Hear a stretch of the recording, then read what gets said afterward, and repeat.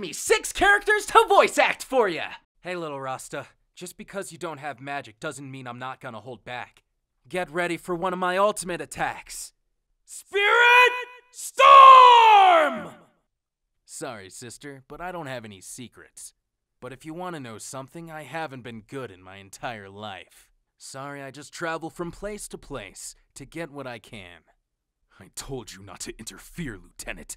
I told you I'd handle it myself. Now that I'm here, I'm going to burn you to a crisp. Ah! Ha! Ha! Ha! you don't want to get killed by my scythe, do ya? I'll give you three seconds to start running. One, psych.